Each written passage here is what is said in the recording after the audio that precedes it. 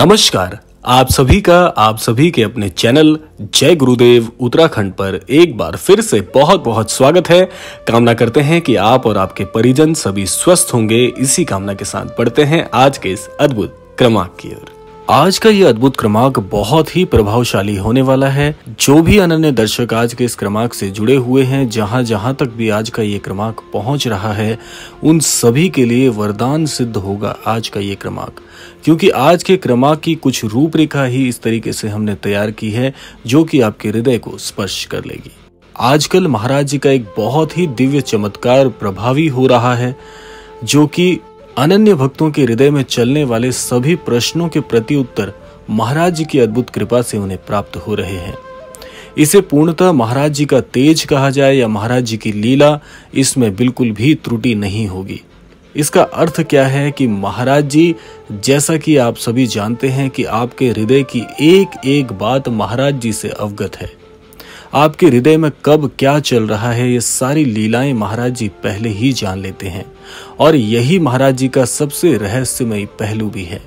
आजकल होने वाले चमत्कारों में जैसे हमारे बहुत से अनन्य दर्शक अपने अनुभव हमारे साथ साझा करते हैं, और उन अनुभवों को जानकर, उनको सुनकर ऐसा लगता है कि जैसे महाराज जी प्रत्यक्ष रूप से हर एक अनन्य भक्त की सहायतार्थ हेतु कार्यरत हैं।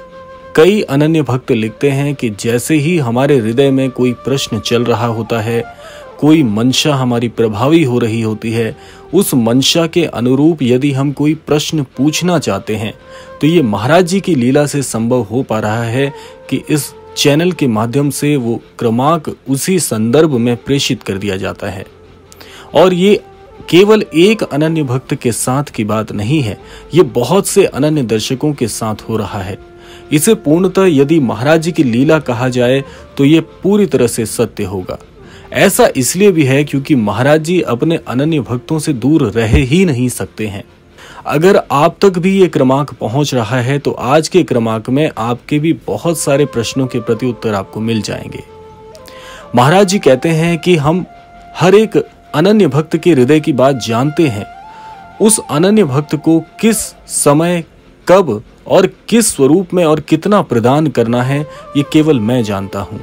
क्योंकि महाराज जी गुरुओं के महागुरु हैं तो आप सोचिए कि यदि आप महाराज जी के अनन्य भक्त हैं तो आप कितने बड़भागी हैं कि ऐसे अनन्य गुरु का साथ आपको मिला है। यदि महाराज जी के सानिध्य में आने के बाद भी आपका भाग्य परिवर्तित नहीं हुआ तो आप ये समझ लीजिएगा कि पूर्णतः महाराज जी इसमें कोई ना कोई, किसी न किसी प्रकार की विशिष्ट लीला का अवलोकन कर रहे हैं। आपके जीवन में कुछ ऐसा अवश्य घटित होने वाला है जो आपके जीवन को पूरी तरह से परिवर्तित कर देगा। अभी तक यदि महाराज जी के सानिध्य से यदि आप अनभिज्ञ हैं, आप यह नहीं जानते थे कि महाराज जी कौन हैं। महाराज जी की लीलाएँ क्या हैं? इससे पहले यदि आपने महाराज जी का नाम तक नहीं सुना था, और आज समय ऐसा आपके जीवन में आया है कि चारों ओर महाराज जी की लीलाओं का व्याख्यान, महाराज जी के छवि चित्रों के दर्शन, महाराज जी के विग्रह के दर्शन, महाराज जी के धामों में जाने की योजना बना रहे हैं, ये सब कुछ महाराज जी के प्रताप से हो रहा है। ये आपको लगभग हर क्रमांक में मैं अवश्य बताता हूँ कि आपके जीवन में महाराज जी के प्रवेश करने मात्र से ही जितनी सारी चीज़ें आप सोच रहे हैं, इनमें से शत प्रतिशत चीज़ें शत प्रतिशत विचार महाराज जी के मार्गदर्शन से आपको प्राप्त हो रहे हैं। यूँ मान लीजिए कि बुद्धि तो आपकी है, लेकिन उसमें विचार महाराज जी भेज रहे हैं। क्या ये किसी चमत्कार से कम है?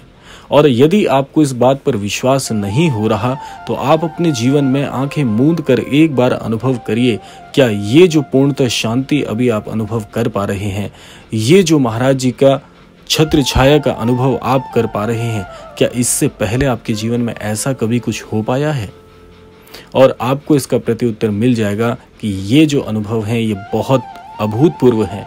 इससे पहले ऐसा कुछ मेरे जीवन में घटित नहीं हुआ था। ये महाराज जी के द्वारा ही आपको शांति प्रदान की गई है। और इसी शांति में आपकी समृद्धि छिपी हुई है, इस बात को रेखांकित कर लीजिएगा। क्योंकि जितने भी अनन्य दर्शकों तक आज का ये क्रमांक पहुँच रहा है, प्रत्यक्ष रूप से आपका महाराज जी के प्रति प्रेम है। ये प्रेम ही महाराज जी की ओर आपको खींच कर ला रहा है। रोज़ाना यदि आप महाराज जी के कथांकों का, महाराज जी के अनुभवों का यदि श्रवण कर पा रहे हैं तो इसमें आपकी मर्ज़ी बिल्कुल भी नहीं है। अगर आप ये सोचते हैं कि मैं महाराज जी की कथाएँ सुन रहा हूँ, या महाराज जी के अनुभव मैं सुन रहा हूँ तो आप यहाँ पर शत प्रतिशत गलत हैं। आप त्रुटिमान हैं, क्योंकि ये आपकी मर्ज़ी से नहीं हो रहा। ये महाराज जी के अनुभव आपको पुकार रहे हैं, ये महाराज जी का सानिध्य आपको पुकार रहा है। ये महाराज जी की मर्ज़ी है कि आपके भाग्य को अब परिवर्तित करने का समय आ गया है। ऐसा बहुत सारे लोगों के साथ हो रहा है। और सबसे बड़ी चमत्कारिक बात यह है कि एक क्रमांक ना जाने कितने असंख्य भक्तों के जीवन में जाकर उन्हें इस बात के लिए विश्वास दिला रहा है कि तू अकेला नहीं है, तेरे साथ मैं हूँ। और ये जो मैं शब्द है, ये महाराज जी के लिए प्रयुक्त हो रहा है। और पूर्णतः ये महागुरुओं के महागुरु आपको बताना चाहते हैं कि इस मार्ग पर जिस पर तू चल पड़ा है, जिस मार्ग पर तू अपनी मंजिल की तलाश कर रहा है, उस मार्ग पर कुछ ही दूर पर मैं खड़ा हूँ, जो तेरा हाथ थाम कर तुझे तेरी उस मंजिल तक अवश्य लेकर जाऊँगा। ये महाराज जी की ही विद्या है, ये महाराज जी के ही अनुभव हैं, ये महाराज जी की ही इच्छा है, जो चाहते हैं कि अब तेरे जीवन में जो कष्ट हैं, जो तेरे जीवन की परेशानियाँ हैं, उसमें तू अकेला नहीं है। तेरे जीवन की उस कठोर से कठोर परीक्षा की घड़ी से तुझे उभार कर जीवन के उस मोड़ पर अवश्य लाकर खड़ा करूँगा, जहाँ पर तूने सोचा है कि तुझे पहुँचना है। ये महाराज जी के शब्द हैं, महाराज जी चाहते हैं, ये महाराज जी की बातें हैं, जो वो आपसे साझा करना चाहते हैं। इसीलिए ये अनुभव ऐसे ही नहीं है, ये सब कुछ जो हो रहा है, ये जो बहुत अगाध प्रेम का एक सागर सा लहरा रहा है, ये सिर्फ़ आपके लिए है। ये महाराज जी की इच्छाएँ हैं, जो चाहती हैं कि जितना प्रेम आप महाराज जी से करते हैं, उससे कहीं गुना प्रेम महाराज जी के हृदय में आपके लिए छिपा हुआ है। इसीलिए स्वयं को आप अकेला मत समझिए, स्वयं को बिल्कुल भी ऐसा मत जान पड़िए कि जीवन के किस मोड़ पर लाकर मैं खड़ा हो गया हूँ। ये आपके लिए नहीं है जीवन में आपको कुछ और करना है। जो सब कुछ आपने अपने जीवन के लिए सोचा है, उससे कहीं ज़्यादा आपको मिलने वाला है। ऐसा महाराज जी के सानिध्य में आने से आपको अनुभव भी होगा और सही मायने में सब कुछ प्राप्त भी होगा। बस थोड़ा धैर्य बनाने की आवश्यकता है, क्योंकि ऐसा कहा जाता है कि जब जीवन में सब कुछ सोचा समझा नहीं होता, प्रयास करने पर भी वो नहीं मिलता। जिसकी अपेक्षाएँ आप कर रहे थे या जिसके लिए एक, एकमात्र पात्र आप ही थे। अगर वो आपको नहीं मिला है तो इसका आशय केवल एक ही बन पड़ता है, जो कि पूरे मायने में सही होता है कि आपके लिए कुछ और नियोजित किया गया है। और ये नियोजन करने वाले कोई और नहीं परम पिता परमेश्वर महाराज जी हैं। वो सब कुछ आपको प्रदान करना चाहते हैं, बस इससे पहले वो चाहते हैं कि जीवन के सही मायने पहले आप सीख लें। और एक गुरु, एक अनन्य भक्त का हाथ तभी थामता है, जब उसे उस अनन्य भक्त से कुछ विशेष अपेक्षाएँ होती हैं।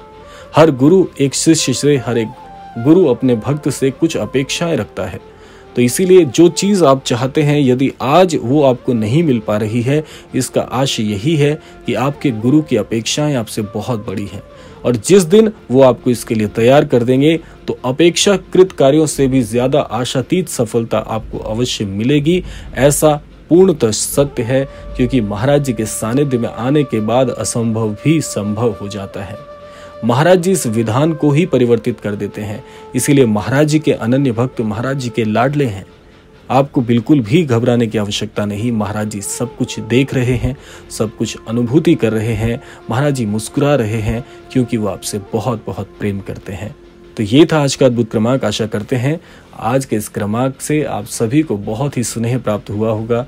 और महाराज जी कि इस प्रेम के सागर में आप सभी बहुत ही अच्छी अनुभूतियाँ कर पा रहे होंगे। इसी कामना के साथ विदा लेने का समय भी आ गया है और विदा लेने से पूर्व समय है रोज़ाना की प्रार्थना का।